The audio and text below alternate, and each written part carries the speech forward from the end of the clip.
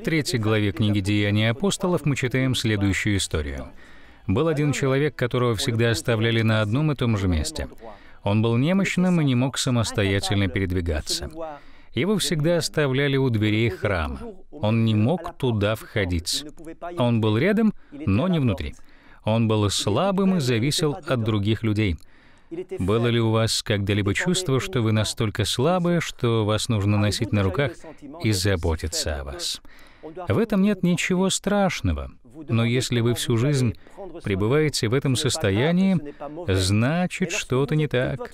Я бы хотел помочь вам решить эту проблему. Почему я так часто слаб и немощен? Задайтесь, пожалуйста, этим вопросом.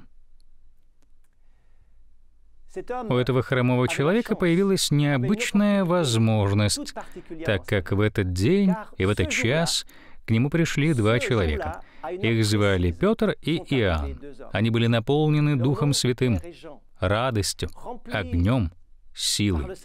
Они могли бы проходить мимо, не обращая внимания на хромого, который буквально был частью ландшафта. Однако они остановились.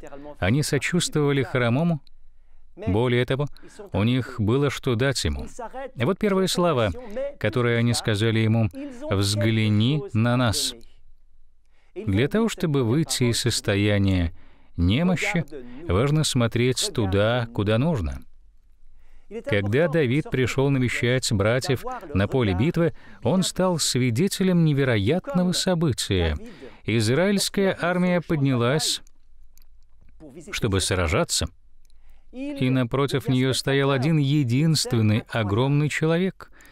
Это был великан, который своей внешностью парализовал всю армию Израиля. Давид, видя происходящее, не был смущен взглядом и внешностью великана. Его внутренний взор был устремлен на кого-то другого. А вот первый ключ, который я хочу передать вам. Петр и Иоанн сказали, «Взгляни на нас». Действительно, важно смотреть на правильные вещи, а не на свои немощи.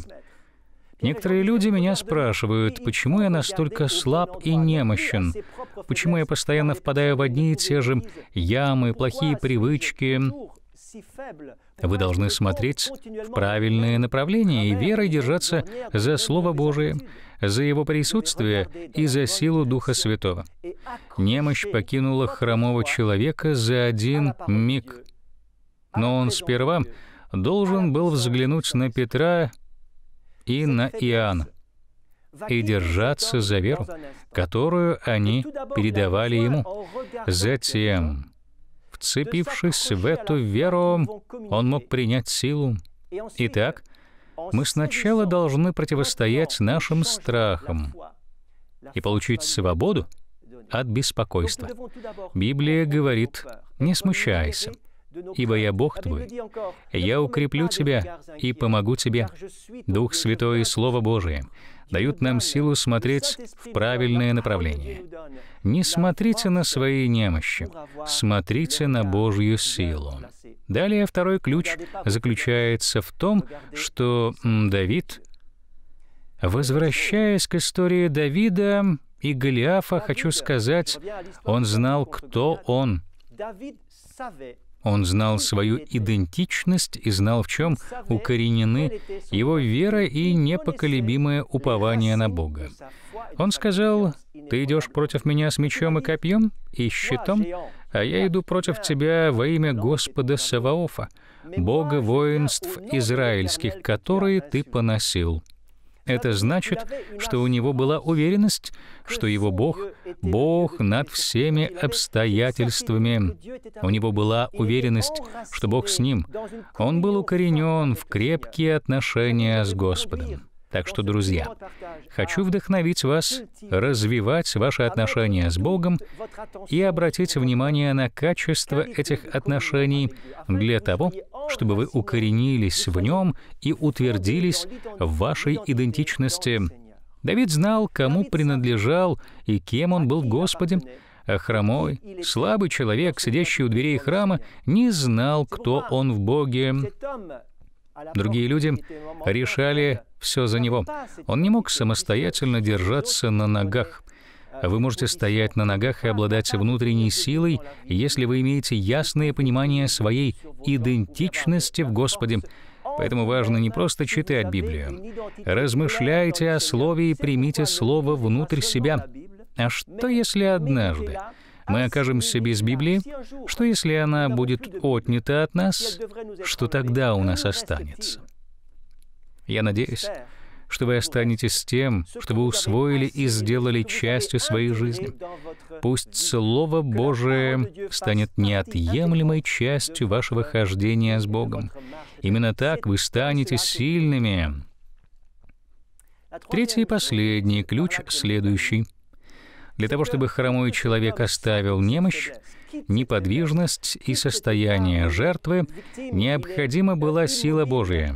Он всегда был на пороге, рядом со спасением, победой, Божьим присутствием, благословением, но он никогда не находился внутри, в центре. Как оставить это место? Нужна сила Божья. После того, как вы сделали все необходимое, то есть вы противостояли своим страхам и решили серьезно относиться к Слову Божьему, вы можете сказать, «Господь, я нуждаюсь в чуде. Мне нужно, чтобы Твоя божественная сила встретилась с моей немощью, чтобы я мог получить свободу, стоять на ногах, жить в новой силе и обрести новый смысл жизни». Я оставил состояние слабости, в которое я постоянно впадал. Нам необходима сила Духа Святого. Просите о ней, и вы ее обязательно получите. Я взял за правило на каждом собрании в простоте, но с верой и настойчивостью молиться за каждого, кто, подобно хромому, слаб и немощен. Нет ничего позорного в том, чтобы быть слабым и немощным, но ненормально всю жизнь прожить в состоянии хромого, когда нас должны постоянно носить на руках и где-то оставлять. Вы не должны всю жизнь быть зависимы от других людей, но вы должны стать самостоятельными. Получайте силу от Господа сегодня, прямо сейчас. Примите силу Духа Святого, которая поможет вам подняться. Держитесь за Божью руку подобно тому, как хромой держался за руку Петра, и входите в новый сезон, который Бог приготовил для вас. Оставьте свои немощи и станьте сильными.